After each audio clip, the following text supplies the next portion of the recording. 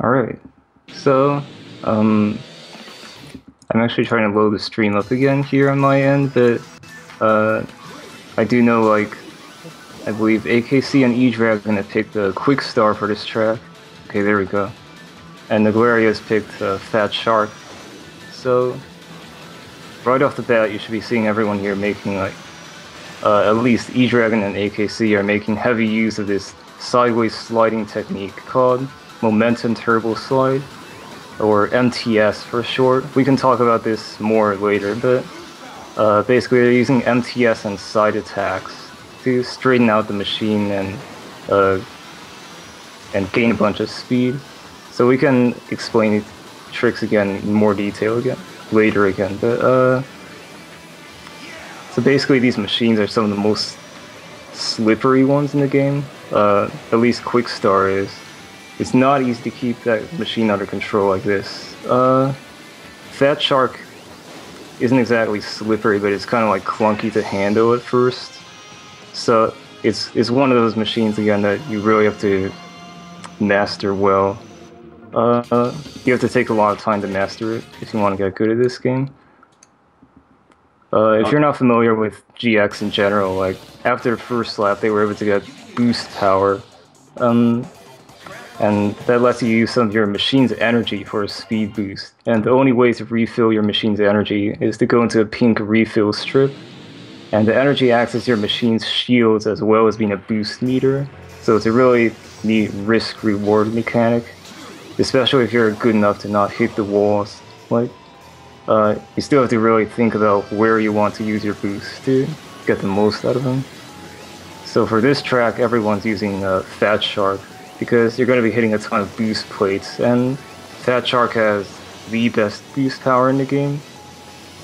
And you can also notice here, like, just how much the boosts can really just stack up to let you gain ridiculous amounts of speed.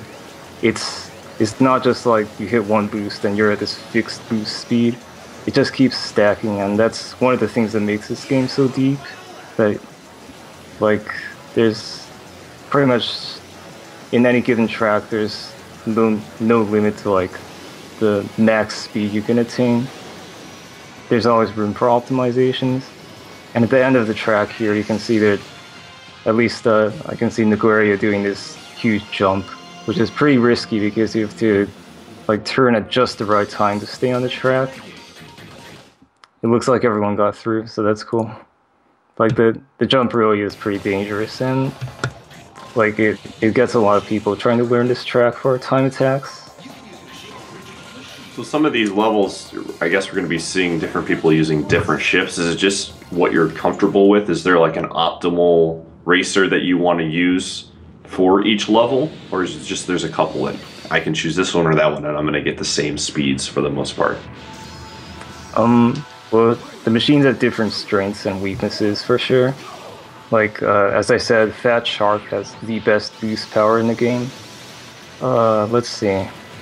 So AKC has picked Black Bull, and uh, E-Dragon has picked Quick Star. Both of these machines are really good at uh, this sideways sliding technique. Again, it's called MTS.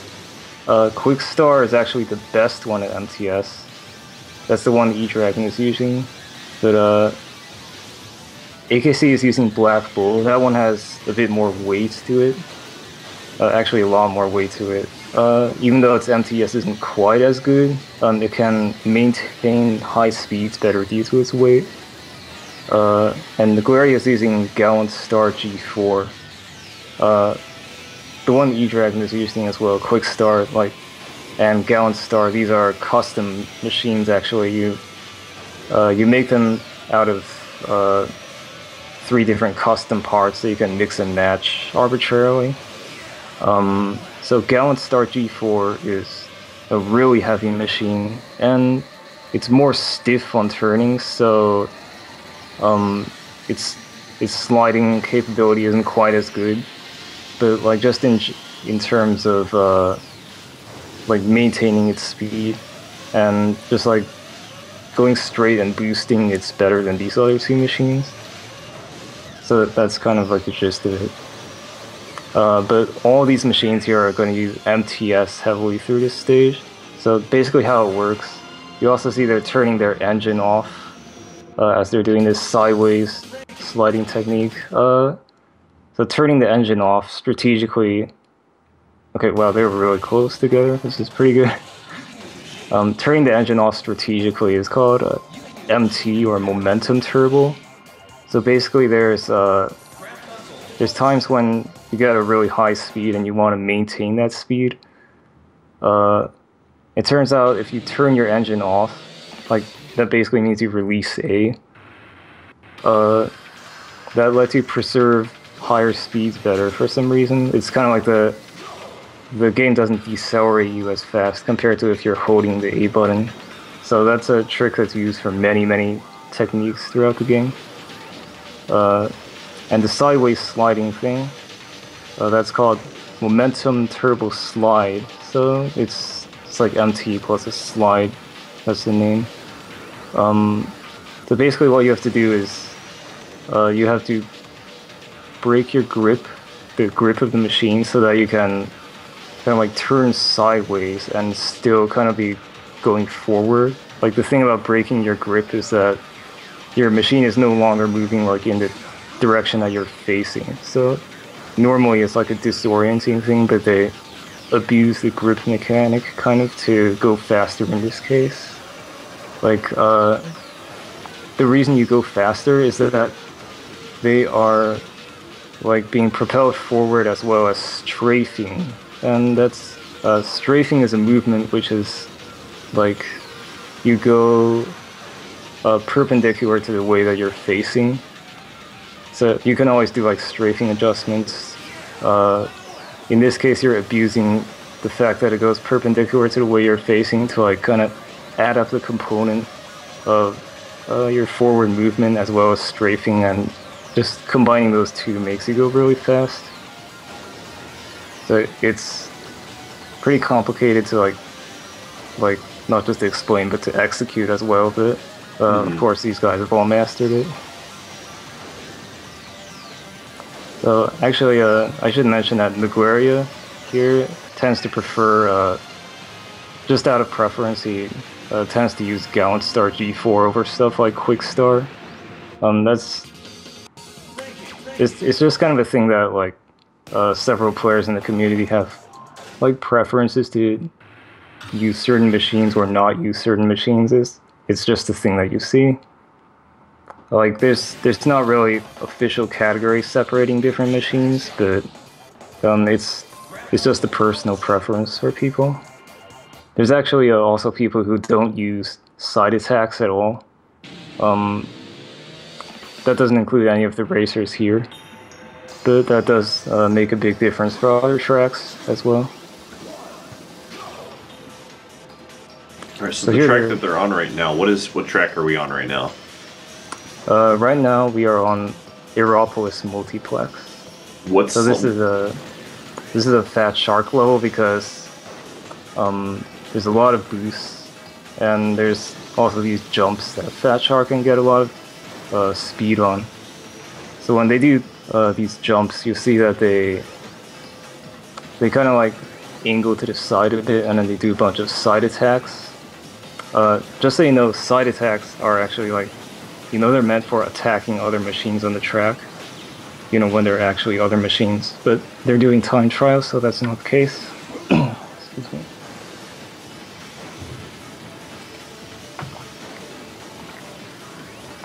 But um, it turns out that if you do a bunch of side attacks, then it, it often speeds you up. So that's something you'll be seeing a lot here. Um, except actually during the boost laps, they don't use side attack dives as much because the the dives just go fast enough on their own without side attacks uh, when you get to a certain speed, and also depending on like the the how big the dive is. Like these are kind of like medium-sized dives, so they're not worth side attacking at a certain speed.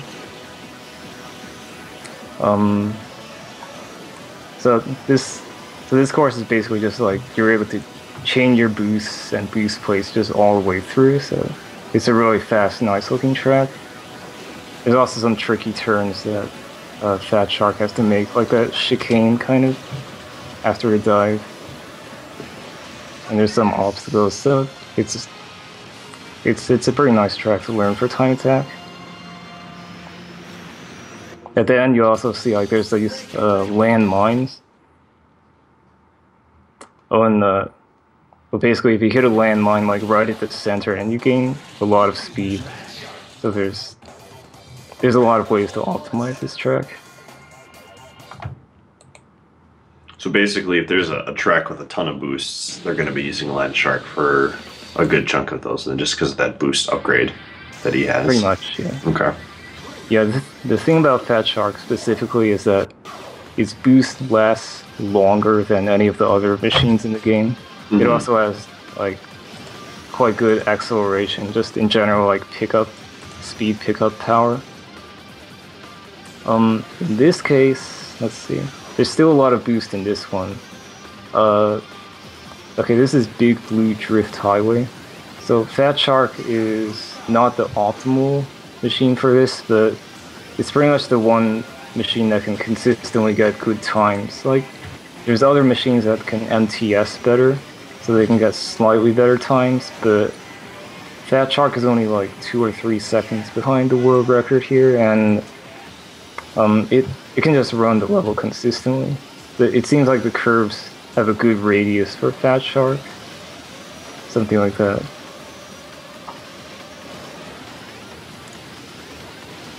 So the boost management at the end of the lap is kind of tricky because uh, the dash plates will keep your speed up, but refilling your energy is pretty important as well to uh, maintain your speed throughout lap three. This race is pretty close. They're all not having too many hiccups. It looks like E Dragon slightly ahead of Niglaria, and AKC is slightly behind Niglaria. So pretty close race. Is there are there going to be certain maps you that we might see one of these runners kind of get a bigger lead, or is it going to be pretty close like this, probably for the whole run? Um, well, actually, I should mention that if any of these guys uh, fall off the track at any point, then they have to restart that track. It's not like Mario Kart where you get, you know, Lakitu fished out. Mm-hmm. So there's definitely going to be some tracks later on, or, or maybe even coming up relatively soon where uh, someone could fall and die. So that's that's definitely going to be a factor. Trust me. So some of these first levels that we're seeing are kind of like easier level. I mean, they look pretty incredible to me right now, but I'm assuming they're like easier in comparison to Yeah. what we're going to be seeing. Yeah. Um, right now we're in the Sapphire Cup. Uh, let's see. Well, this track can actually be a bit dangerous, as you can see. Uh, there's this really big dive uh, where you want to use a bunch of, you want to go way off to the side and do a bunch of side attacks, dude. It looks like tons of speed. AKC had some trouble there and had to restart. Yeah. Or yeah. So As- that's what I'm talking about right there. You're gonna see some deaths probably, but um, yeah, AKC can definitely catch up because there's a lot more dangerous tracks later on. You know, like like technically for these races, you know, you probably want to like if you want to get consistent, you know, like race wins, you would probably just like play it safe and try and not die. But you know, there's always a balance between uh, consistency and just like style points. So hmm especially because these guys are used to doing individual track time attacks. Of course, they've like practiced enough to try not to die like repeatedly on one level. So, Sure. with maybe one exception, there's like, yeah, there's this, there's this track at the beginning of Diamond Cup. You might see what I mean, but yeah, we'll get there. but there's there's definitely some tracks where you have to practice a lot to like to make it look good and not be dying repeatedly. So like this kind of run overall is very challenging, I would say, to get good at. Yeah, it's definitely like a different mindset to be when you're doing a normal time attack for these, where you're just like continuously resetting over and over to get a faster time Yeah, for definitely. just one track. Whereas in this, it's you're doing every single track, so you can't. You have to play it a little bit safer. It's a race for everything. So Right. Yeah, and it's it's always a thing where you have to decide like how many risks you want to take, and between like you know how safe you want to be, like how many. I guess like how, how many risky tricks you can get away with without dying too much. So there's there's always a tricky balance. So here in a green plant Mobius ring, uh, I at least saw E-Dragon do this. Well, actually, first there's like these mines in the tunnel. There's there's like three of them in a row, and they just they just make lap one more interesting because, like, besides that, lap one is pretty slowish, but once you hit those mines, you can actually get to like 3,000 kilometers an hour if you do it just right. So like basically this this level is like two ovals. It's actually like it's called a Mobius ring, so it's like you have an oval and then a twist and another oval kind of. Uh, but the thing is that the track is uneven and there's some weird features on it, so it's actually not that easy to optimize. Uh, the the refill strips for your energy are also like on this really awkward terrain, so you have to be careful in order to refill your energy. These guys are doing pretty well at it. Though. Also, when you do that MTS, like after the tunnel, uh, if you're not careful, like if you go off to one side too much, then you can just get flown off the track because of how uh, bumpy the road is there. So there's some hazards in this for sure. It looks like Naguria pulled ahead of E-Dragon a little bit. If I'm just barely. Mistaken. Yeah, just barely. Oh, we got Port Town. What is the what is something we should be looking for in Port Town stage? Oh. Right. So Port Town, uh, this this level is called Port Town Long Pipe. Uh, so we have the first pipe level. Um, so pipes are pretty tricky to navigate, especially when the pipe becomes narrow. Like basically compared to a flat track, you're always more prone to skidding out of control. And hitting all the dash plates is pretty hard because you have to keep track of what side of the pipe you're on. You can mm-hmm. see Naguria and E-Dragon going through all these dash plates right now. And then you have these uh, rotating fans to deal with. So the fan positions, uh, they're determined by, you know, how, how much elapsed time you have in the race. Like they start moving at the beginning of the race, basically. Uh, it's like unless you're super consistent or just really familiar with the cycles, you just generally have to react to where the fans are. Um, the the obstacles at the end actually do not move, but there's there's just a lot of obstacles and the terrain is kind of awkward, so mm-hmm. that can also be kind of tricky. Um, on the boost laps, you basically like you want to use your energy to chain the boosts together and basically go fast into places where you won't be punished for it. Like there's this uh, bumpy part after the three fans where if you try and go full tilt here, then you'll probably just, you know, you'll get tossed all over the place. So you don't want to use your all your boost uh, for that section. Um, let's see.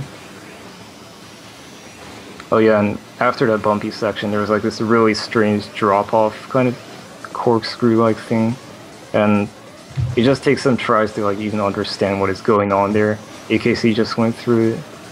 Um, you're definitely gonna slow down a bit there, no matter what. But there's like a trick to like, you know, maintain your speed there. You kind of mm-hmm. have to take a specific route. So there, there's a bit of all parts in this track.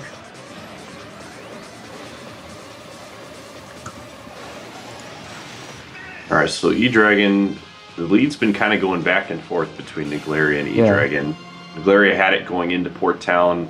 E Dragon took it right back, but it's not a big lead. It's like maybe two seconds. So, and then mm-hmm. AKC had that fall a couple uh, levels back, so he's a little bit behind. But again, like you said, this is anybody's game right now. It's yeah, very easy for someone to fall off at some point. Yeah, especially this upcoming track. Actually, this is definitely the most dangerous track so far coming up. It's called Mute City Serial Gaps, and uh, it's also the bane for like beginners doing Grand Prix mode. Um, and just it's a very difficult track. Like basically, there at the beginning there's this tunnel where there's a bunch of landmines, and uh, like on the first lap, I'm not sure if they're gonna go for this mine jump. Let's see. Okay, they went for it. Yep. And the Nagoria is going for the big jump too. Okay, so yeah, to say the least, these strats aren't like awfully safe, especially because like it when you hit a couple of mines, like you're not really sure what speed you're gonna end up at because like depending on exactly how you're centered on the mines, your speed is gonna vary. Mm-hmm. On the Yeah. mine jump, the, when you jump on mines, it gives you a speed boost, correct? Right. Yeah, and again, it varies like depending on exactly like what position you're hitting the mines at. Okay. And then after that, you have this jump plate, which the the jump plates like how far they send, how basically how high they send you also depends on your speed. So you have to control everything very well. So Nagaria got these big jumps on like all three laps. It looks like, and he's taking the lead again. So this is good stuff. So you can see AKC here. He's using a different machine actually. Oh, he actually had to restart on lap one there. Not a big loss though, but um, so AKC is using Quick Star here, and basically Quick Star. Uh, it doesn't get as much speed from jumps compared to Fat Shark, but um, so what it can do is it can take this pretty unique shortcut at the end of the tracks. So hopefully we're gonna see that.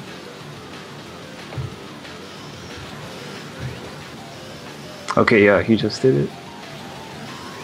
So basically, the thing about Quick Star is it can glide better than uh, Fat Shark because it's lighter, and it also has like pretty floaty strafe turns. Oh wow! What? The? okay, I guess you can AKC has to restart lap two there. But yeah, cu- just coming out of the tunnel, it's always hard to predict like what's gonna happen because the terrain is so awkward at times. So you can see Magoria and E-Dragon um, still under. Uh, so th- this time you're on the outside of a pipe. So I guess we just call it a cylinder level. Um, so this isn't really like a, a level that you can go full tilt all the way on. Uh, because there's there's just some uneven, there's just some like awkward terrain in the cylinder. But basically, again, you want to like keep your boost for the part where you won't be punished for going super fast. And there's also uh, places where you can get something called a shift boost. So this is another fundamental technique that's like especially important Emerald Cup onwards. This is the start of Emerald Cup, by the way. They should be getting a shift boost. Okay, yeah, Naglaria got a big shift boost off the off the big north there. So basically, uh, what a shift boost is, um, if you go into the air and then land like a few frames later, then uh, you get a big speed boost, especially with heavy machines like Fat Shark. And it's it's not really clear why this happens. Like it's possibly some kind of bug in like the aerial mechanics or something. But again, like if you go into the air, land a few frames later, then you then you can get this big speed boost. And in this case, they're doing it off like slopes, little slopes and stuff like that. Mm-hmm. Okay, Nagoria got that huge one again. And it's it's very tricky to control yourself on a cylinder at those kinds of speeds. There's another shift boost you can get right at the end, that last turn in the cylinder there. Like sometimes you could do an MTS. Again, that's like a sideways sliding thing. You can do an MTS into a shift boost, kind of like the um, I'm not sure. It's something like the kind of instability that exiting an MTS gives you makes it easier to get a shift boost in some places. So you see that sometimes. Nigleria kind of extending the lead there. He got a couple. He had a pretty nice stage there, about a two to three second lead extra here. So probably about five to six total. Oh wow! Wait, E Dragon. Okay, I was really confused because it looked like Naglaria finished that. Oh, Looks like he lost some time on the menus because he was ahead of E Dragon at the end of that last stage, but E Dragon just started ahead of him. So oh yeah. Maybe he like accidentally selected retry or something. Yeah, that's that's the thing about uh, time attack. Uh, I guess like all tracks in time attack, like you know, in time attacks we're so used to like retrying to get a better time, but uh, in this case you want to take select course to go to the next one. yeah, you can you can you know navigate going ridiculous speeds, but menus can be tricky sometimes. yeah. So here we have a green plant intersection. So this is uh, another level that features it. You're going inside of a pipe for a lot of it. Um, so normally this pipe has to be navigated like pretty slowly because there's a bunch of twists in it. But if we're lucky, we'll see some shift boosting like E-Dragon is doing right now. Okay, that was excellent. He got five in a row. Five out of five on that lap. So basically, like, if you approach the slopes in the pipe in a certain way, then you can get a bunch of, like, really cool looking shift boosts through the pipe. It's just so good when you, like, take a part that's normally really slow and then you turn it into, like, the fastest part of the level. And the, the last part isn't too bad either. Like, like basically you have to do these really tiny quick turns. Oh, I haven't explained quick turns yet, but it's basically like, uh, so Fat Shark's normal turning is like pretty slow, and if you want to do like, kind of like, if you want to turn on a dime, then you have to do a little trick. Like you basically press, uh, if you're doing a left turn, you want to press R, the sh- R shoulder button for a brief moment, uh, to kind of like uh, loosen your grip a bit, and then you press uh, left and L, and then so what? Basically, what happens instead of doing like a normal strafing turn, you do like this kind of slightly drifty turn, which uh, lets you turn faster with pretty much most machines, including Fat Shark. So that that's it. It takes some getting used to, like pressing the opposite shoulder button before turning, like pretty much all the time. You want to do that with Fat Sharks, so it's definitely something you need to master. Oh, and also you see AKC going through the level right now. Um, after all these dash plates, you have this really awkward turn at the end. It turns out the speed strat is to do it. Uh, pretty dangerous MTS through that turn. Like these guys are pretty good at it, but uh, when I was playing, I I always had trouble with it. It was always like a, definitely a dangerous point for me. And even for like normal players, just because of how weird the turn is shaped, you just have to be careful there in general. So Naglaria and E-Dragon are on Casino Palace double branches now. So here's another Fat Shark level because, as you can see, there's dash plates just all over the place. And the track is also kind of narrow, so you can't like... It, it would be hard to like spam MTS inside attacks everywhere. So let's see. E-Dragon's coming up on lap 2 here. I forgot if he does like shift boost off the edge here. Okay, he just goes for the dash place. Basically, like there's a part uh, where there's no railings uh, near the beginning of the track. Okay, we see Naglaria going through this right now. Okay, yeah, Naglaria is going for shift boost off the edge. As I said in uh, Cylinder Knot, a shift boost is where you um you go in the air for a split second, and then you uh, you land like a few frames later, and for some reason this gets you a speed boost. So whenever there's no railings, you can strafe off the track and then strafe back on really quickly to get a shift boost. But of course, if you're off the track for too long, then you die.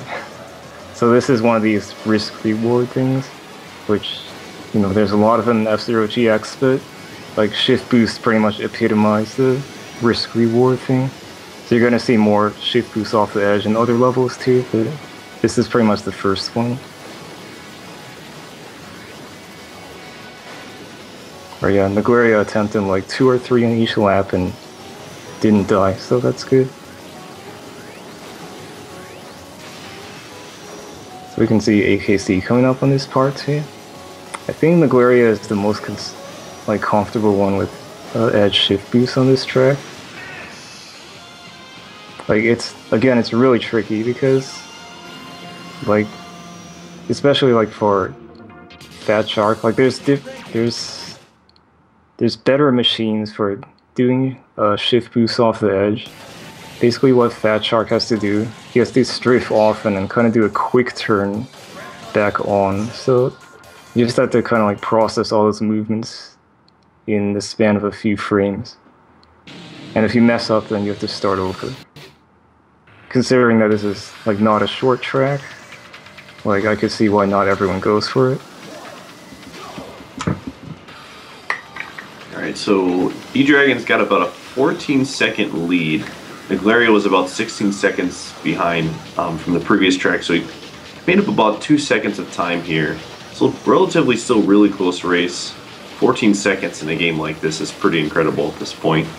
Both yeah, are playing well. Really... And then we've got AKC a little bit about at least a minute, minute and 10 seconds behind. Yeah, but we still got this track and we've got Diamond Cup. There's plenty of interesting spots left to play, so so here we have a Lightning Half Pipe. And uh, since basically you have a half pipe which doesn't have any railings, like pretty much all throughout. Um, although it's the half pipe shape makes it really awkward to shift boost off the edge, so pretty much no one goes for it in single segment. But it can be done. Um, so again, like the half pipe shape kind of makes makes it tricky to turn like in a smooth manner. Like if you turn at the wrong place or at the wrong angle, uh, then then you just kind of slide around. Oh, and actually Naguaria had to restart the level. So yeah, this this one is kind of dangerous, especially when you're going for the various shift boosts like that you can get just on the slopes in this level, and also like the there are some risky jumps. I think Naguaria is probably attempting more risky jumps than E-Dragon is here, so that's one reason he might have died. I didn't see exactly how it happened, but but you have to be careful on pretty much all the jumps here.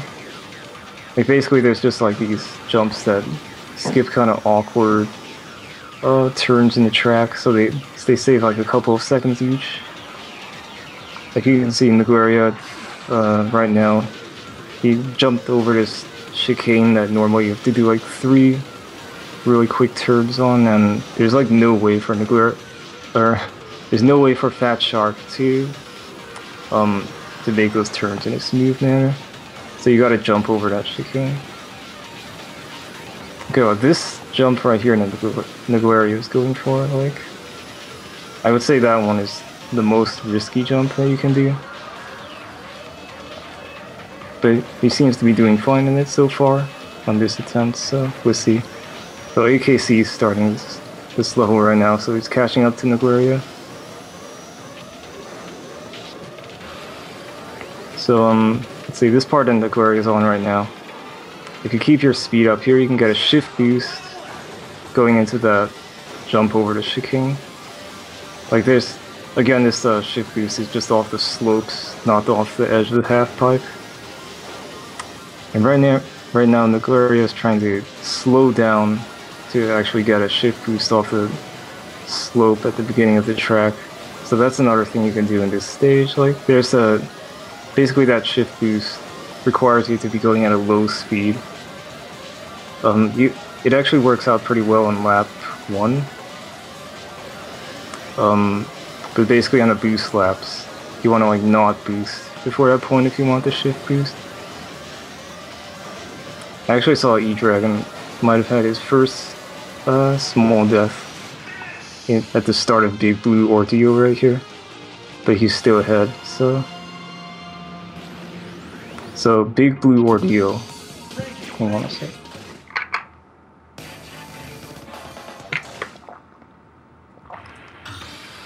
Yeah, so this is a level where there's a lot of jumps and opportunities to do side attacks uh, basically, those are Gallant Star G4 specialty, so uh, Gallant Star has the world record here. And uh, I, I believe everyone in this race is also going to use Gallant for this track. So at the beginning of the boost laps, you can use that ramp to cut the corner there. The building is solid, so you have to watch out for it. If you hit it, then you probably just drop into the water and die. So, and there's this huge dive here. Oh wow, he actually landed below there, which is I would not have thought that was a consistent strat. I don't think he usually goes for it either, but he did.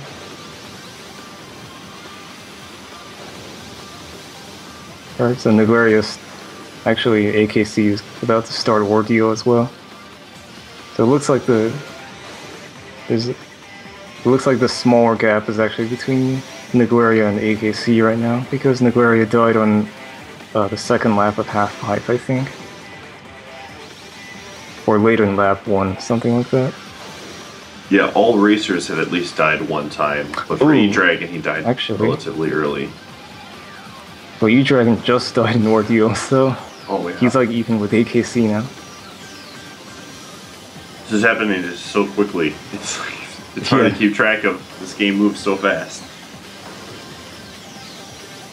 Yeah, just Yeah, like that, so- E-Dragon had like a minute lead on everybody, and because of two deaths on this stage, it's just anyone's game again. It's ridiculous.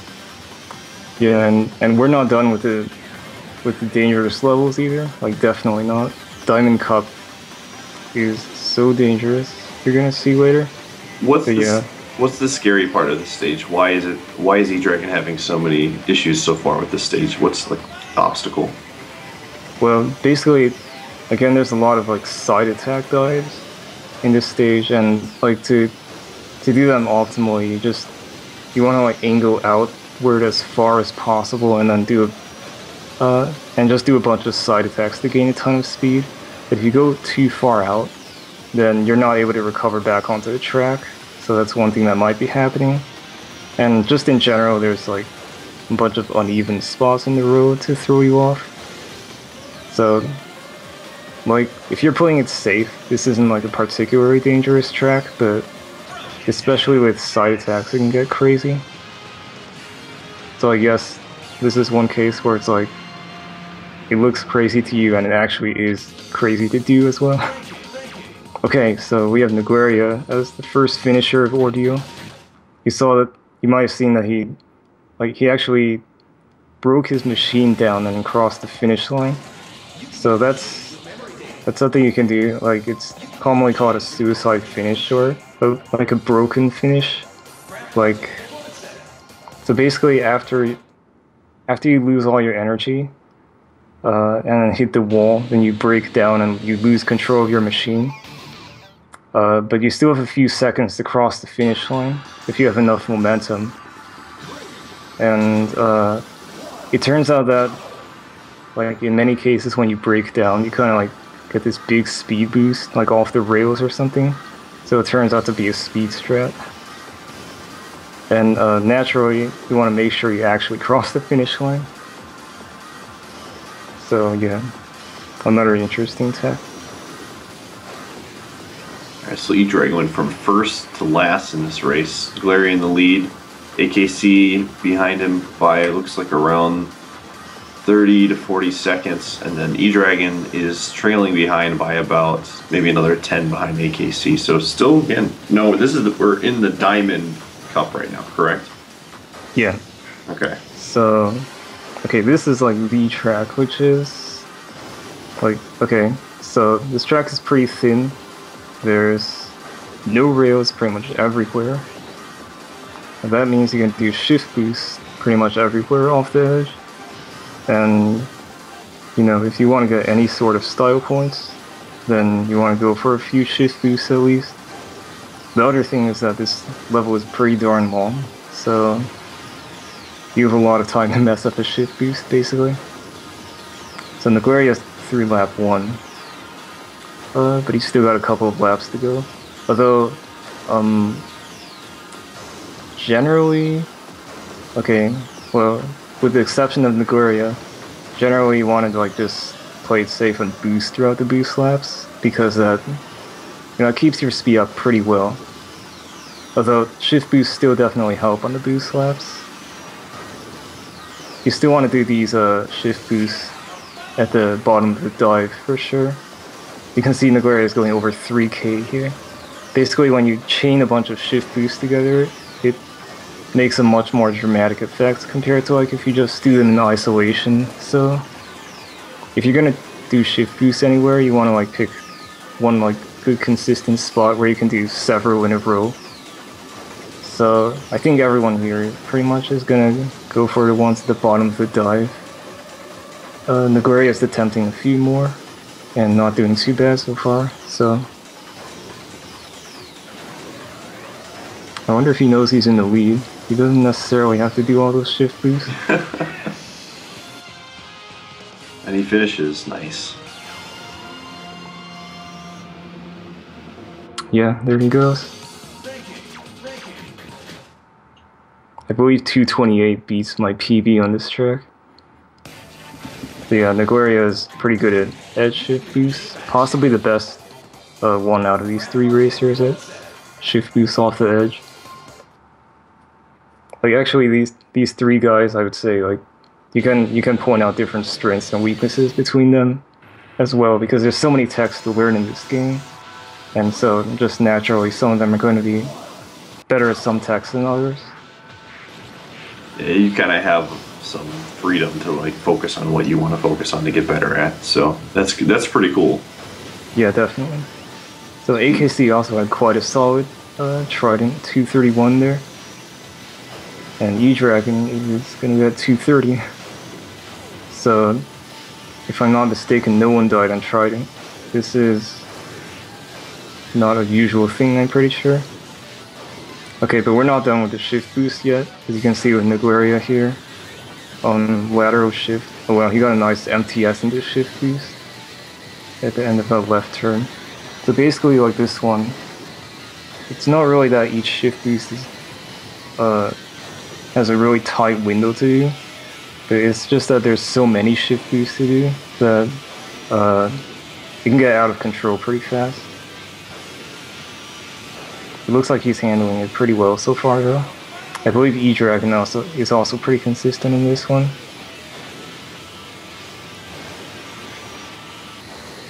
Again, like, you always have a choice, you know? You want to go for the next shift boost, or do you want to play it safe and just make sure you finish? I feel like it's impossible to play it safe at all with this game. Like you're going so fast. Like how what is what is considered safe in this game? I don't even know, to be honest. these guys are handling it pretty well. Mm-hmm. Yeah, I mean, just watching this level here, it's just ridiculous. Oh yeah, so the thing, the thing about, oh okay, AKC actually had to Yeah, I was gonna say one. AKC had to reset there. So E Dragon takes second place again. Naguaria in the lead, and AKC in third here.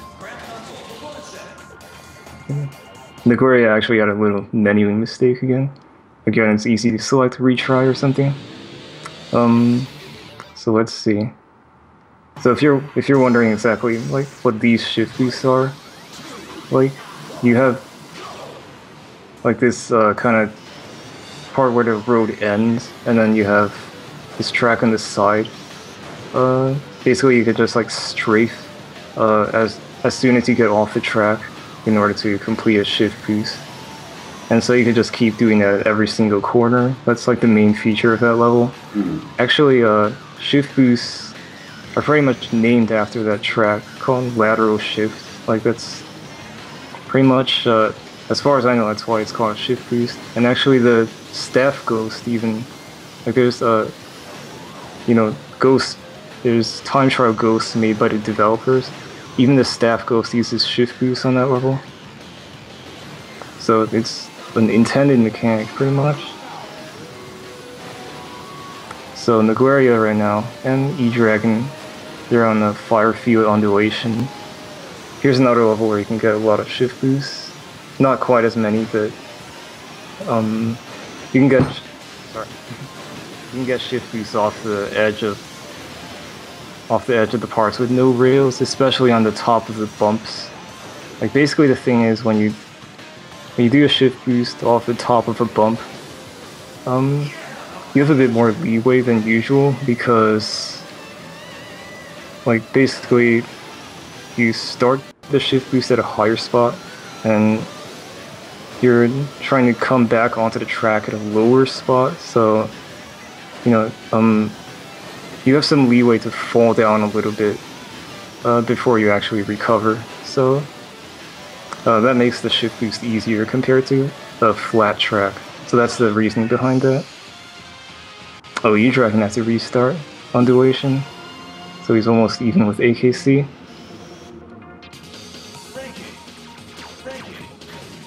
Okay, Naguaria didn't have the cleanest undulation here. It's pretty chaotic with the jumps Ooh. as well. E-Dragon had to restart again. Oh. Second reset on this stage, so AKC hops into second place.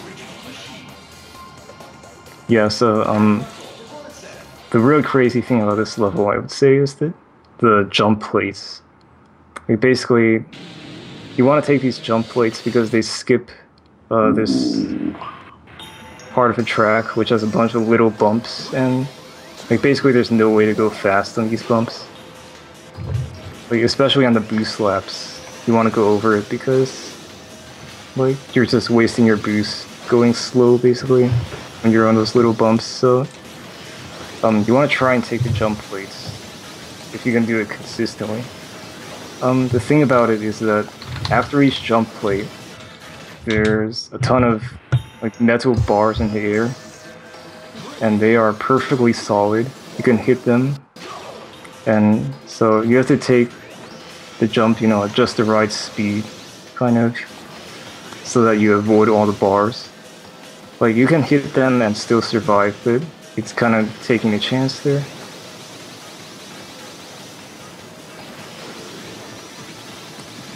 So you can see AKC went over like four bars and then like went just under another one. Overall, this is a pretty chaotic track. Mm-hmm. So Naguaria here is on uh, Dragon Slope.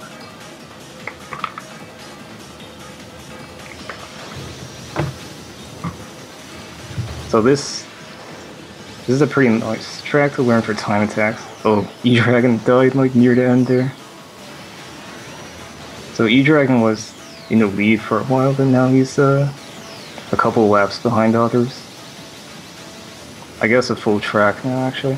Yeah, it's pretty heartbreaking to see a runner die on like the last lap. It's this is a brutal game. Yeah, that's the thing.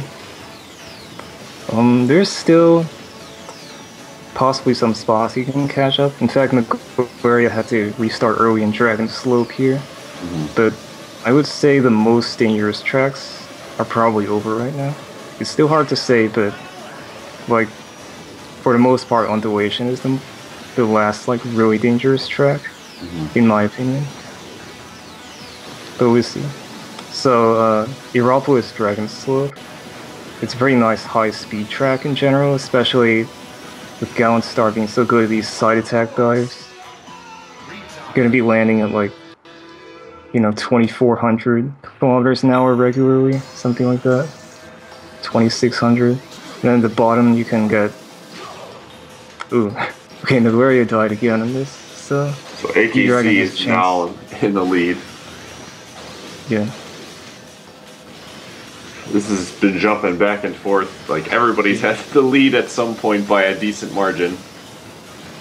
Yeah, Diamond Cup will do that in general. I guess on second thought, this track isn't so safe after all. yeah. Like the thing, okay, with these side attack dives, if you go off to the side too much at any point, then the game will consider you out of bounds and just instantly say you're dead. You want to be careful of that, obviously. And at the bottom, so what Naguaria was going for uh, was these shift boosts on the edge to get even more speed. Um, again, Naguaria seems to like go for more edge shift boosts than the others. Um, and then after that, you have these like turns on the ice when you're going at like you know 2500. So you gotta be careful.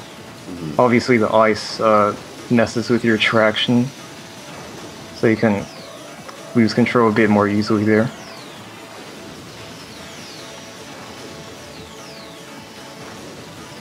So yeah, it looks like AKC isn't going for the edge shift boost. Played a little Um, bit safer. Yeah, it's always a wise thing to do when you're in the lead. Yeah, just overall, this is a really nice high-speed track. It's it's a definitely a good one to learn for time attacks.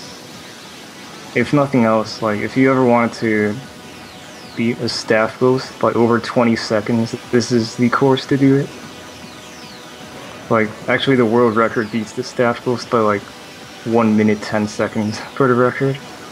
Like, the thing is, it's not just about the side attacks, but even if you don't do side attacks, you can just do the dives a lot faster if you know uh, momentum turbo. Again, that's just the thing where you let go of the accelerator to maintain higher speeds.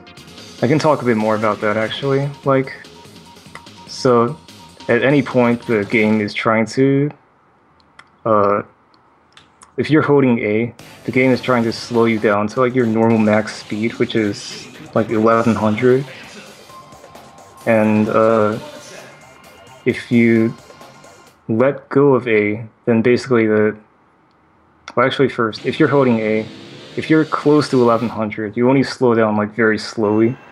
If you are much higher than 1100, like say 1800, if you're holding A, then you drop down really fast. So it, it kind of like your speed loss is like exponential with how how fast you're going, something like that. But if if you're not holding the accelerator, then your speed goes down like more linearly compared to your speed. I mean, like it, it just goes down linearly no matter what your speed is, more or less. So even if you're going like 2,000, if you, as long as you let go of the accel, then you're gonna be keeping your speed really well. So it's definitely a very important technique to know, and it's pretty easy to like basically do. But knowing exactly when to do NT, like you, it's just something you to practice. Okay, so we have Phantom Road here, and we have a machine we haven't seen before. It's called Sonic Phantom, and um, so this this machine it, it's pretty fast. It's not like super good at the advanced techs. It can sort of do MTS, but it's not nearly as powerful as the other machines we've seen so far. But the thing about this track, it's super narrow and it's always like kind of bumpy, so it's one of the hardest tracks to do advanced techs in. So as far as consistency, uh, these guys have chosen to like just pick a more stable machine, kind of like just easier to handle. So this is pretty much the only track where you want to take that into account, like actual stability. hmm No. Except E-Dragon here, which uh, he's going for Black Bull and he's going for, you know, the advanced text. So he, I believe he's pretty much the best uh, out of these three, uh, just this track in general. So that's why he's going for it. He also has to figure he's probably behind some as well because of the mistakes that he made.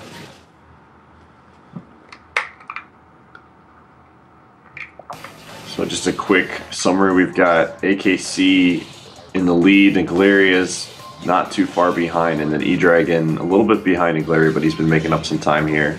And this lead has been been going back and forth throughout the whole race, so it's still anybody's game at this point. Yeah, definitely.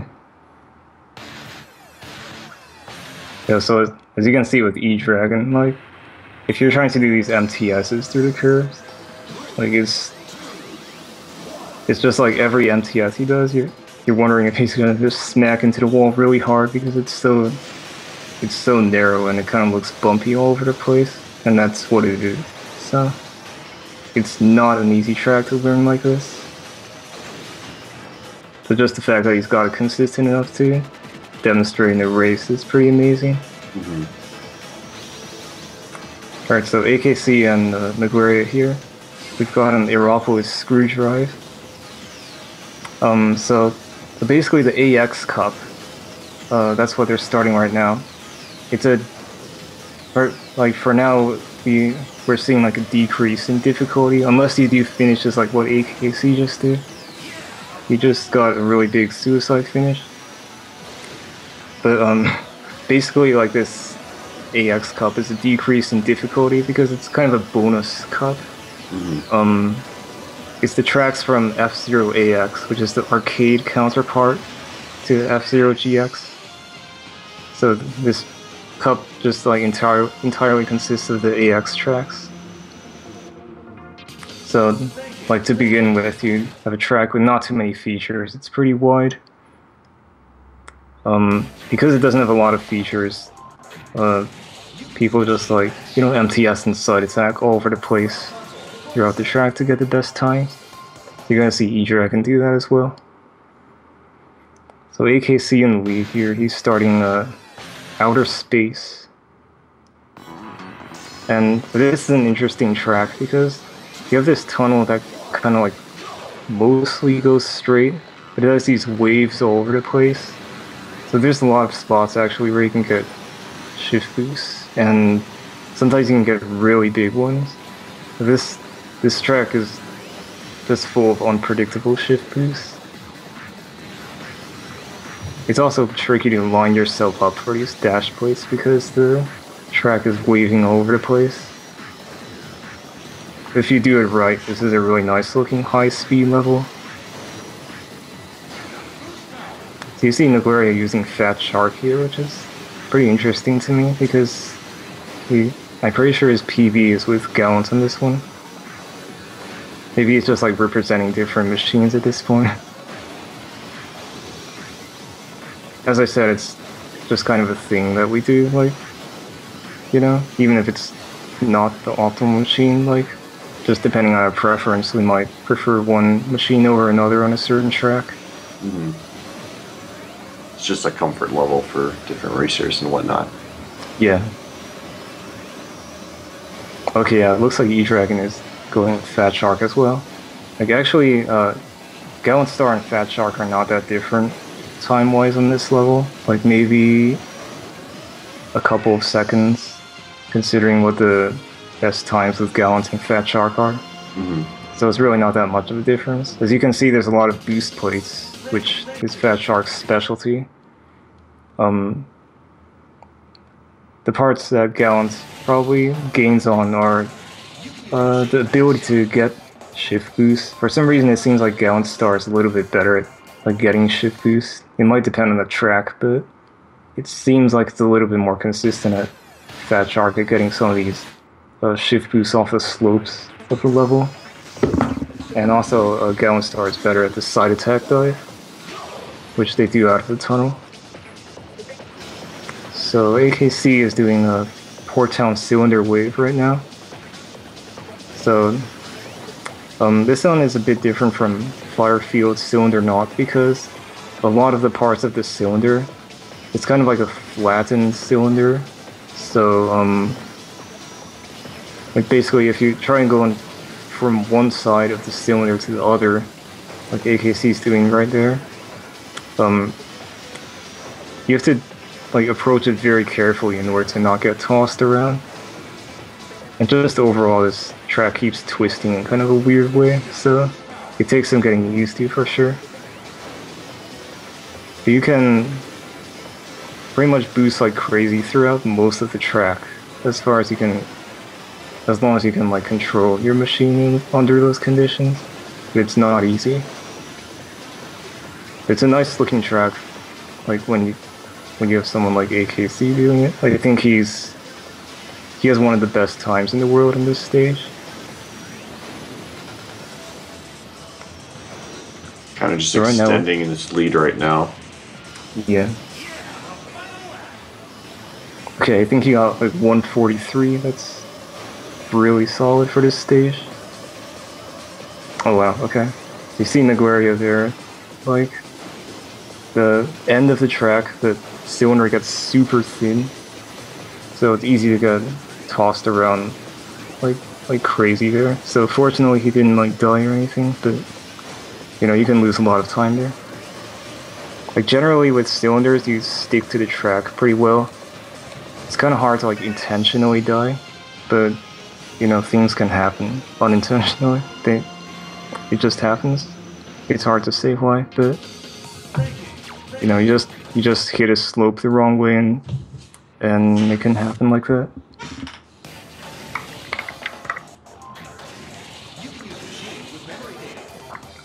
So AKC is on uh, Lightning Thunder Road right now. So this is so incidentally, this this track has actually seen a lot of activity lately. Like there's been like I think CGN said there's like 13 people who have updated their times in this track recently. It's a popular track for time attacks. Um, it's it's a pretty long track, but it has a lot of variety to it. I guess it just flows really well. So, like especially on the boost laps, it's just a treat to watch. Okay, so AKC, like after that dive, he just got this MTS into shift boost. It's kind of like a sort of a recent strategy actually made by CGN. Um, in fact, you can not only get that shift boost, but you can get you can kind of like chain it into more shift boosts like after the tunnel, and that's uh, that's why the world record in this stage has been updated by like five seconds recently. So there's still new strats going on, that's for sure. Despite this game being released in 2003. Yeah, so um, so this level, like the boost laps, they actually look like pretty conventional compared to some levels. Like for a lot of it, you're driving straight and just like timing your boost well. There's a thing about that though. Um,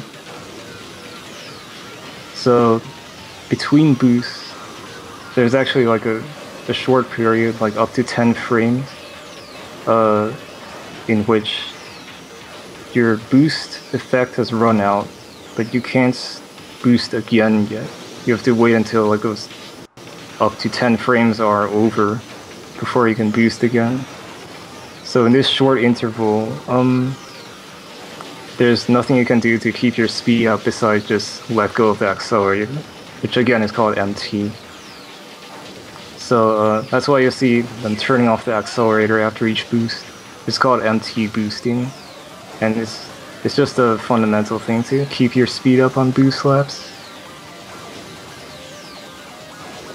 You know, and it's it, it was actually a pretty recent discovery that like there was really this this window in which you're not boosting and you can't boost again yet. Like I guess I guess we were never really sure like why MT boosting worked, but it's it's just something we found that was faster in general. So that was kind of a recent research discovery.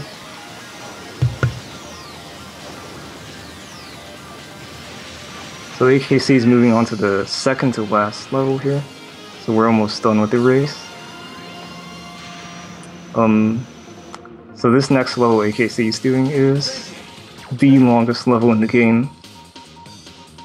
Oh, I think Naguaria got like 240 on that stage, which is really close to his PB.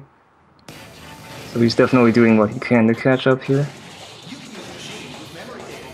So the one AKC is on right now um, it's gonna last like three minutes, I think, for for him. So at the beginning, there's this shortcut you can do.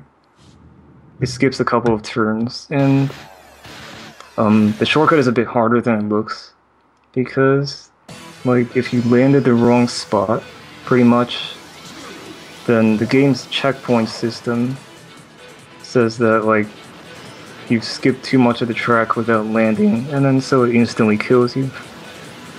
So that's definitely something to watch out for. Like it's basically the, the game's like anti-shortcut system or something like that. That you have to cross certain invisible checkpoints as you go along. Otherwise, uh, it doesn't count as you having landed. So Naguaria managed to make it with a heavier machine as well. It's generally easier with lighter machines, but it looks like he's just got the hang of it. So again, with the different machine choices, we have uh, AKC using Quick Star, and Naguaria using uh, Gallant Star. So it, seems, it just seems to be Naguaria's like preference usually to not use Quick Star. So that's that's probably something you saw on earlier tracks as well. And AKC happens to be really proficient with Quick Star on this track, so you'll probably see him extending his lead a bit more here.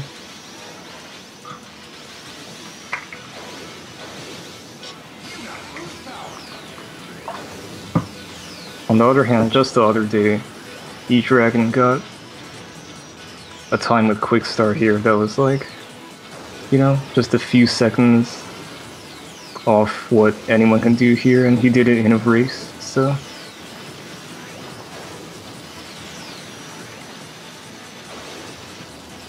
I would say overall, like right now, it just comes down to like, can they land the shortcuts that they want to do? Because uh, this is the second to last track.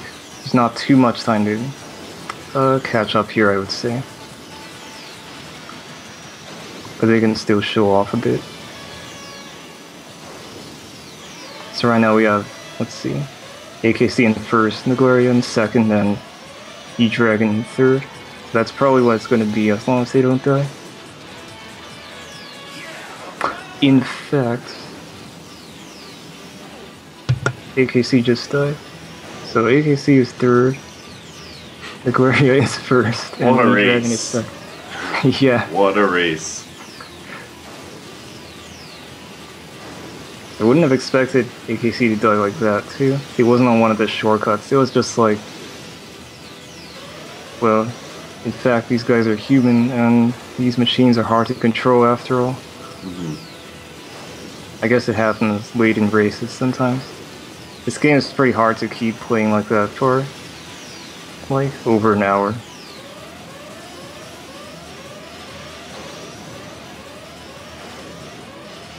So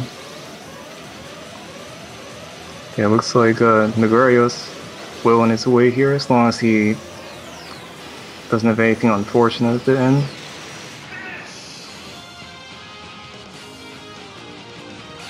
But yeah, looks like he's playing it safe by not boosting before this ice turn. On that ice turn, if you boost before it in an MTS, you can go really fast. Like the thing with the ice, it enhances your MTS because like uh, MTS is all about like keeping your grip broken. That's why you have these really slippery machines uh, because they can do MTS really well.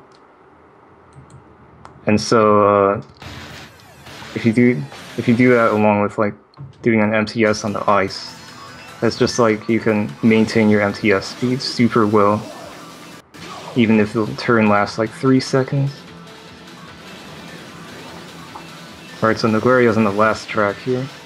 So there's actually a few machines that are really good for this track, but he's picking a Fat Shark. Possibly for consistency, possibly for like a kind of a spiritual mirror match with the Staff Ghost. This is actually one of the best Staff Ghosts in the game. Like, it's only... Naguaria is probably only gonna beat it by like three seconds at most. So this is like the level where the game basically encourages you to learn Fat Shark and optimize it. Although the staff ghost doesn't know MTS, so Naguaria's definitely got an edge here. It's not like they're actually racing the staff ghost right now, just what I said, like a spiritual race, but it's good to know this the staff ghost is actually pretty good here. So Naguaria is done. And E-Dragon is on his way.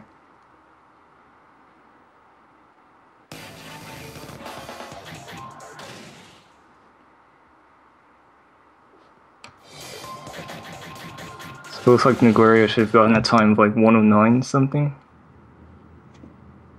So Naguaria takes first.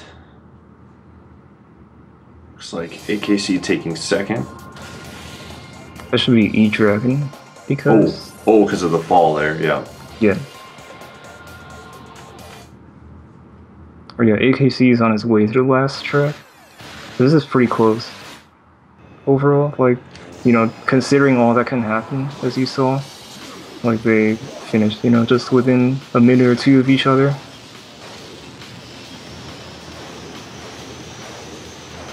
So E Dragon is done.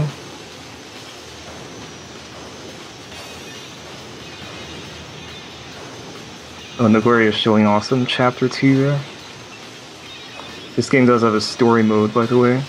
That, that's what was demonstrated at AGDQ a couple of years. This is the level where you can shift boost all over the place.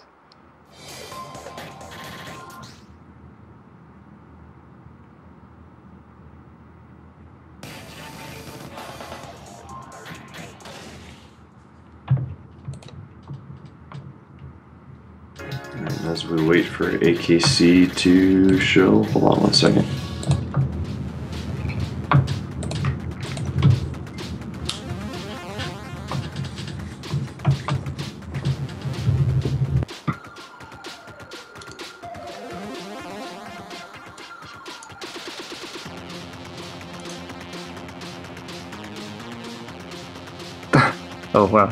Okay. AKC was going big right at the end, but he just fell out.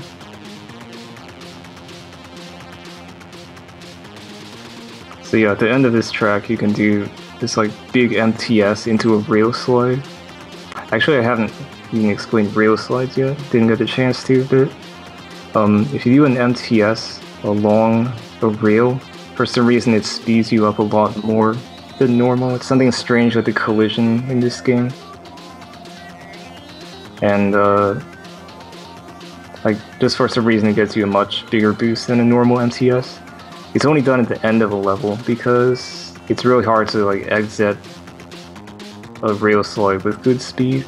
So you just do it at the end where you don't have to worry about uh, exiting it.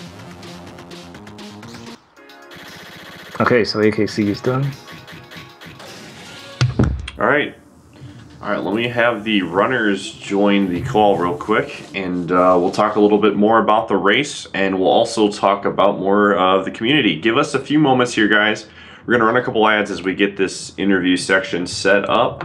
Um, and then again, we'll have an interview with both Naguaria, AKC, and I believe E-Dragon's mic has been having issues, so it might be just those two. But just give us a few moments here as we get this set up.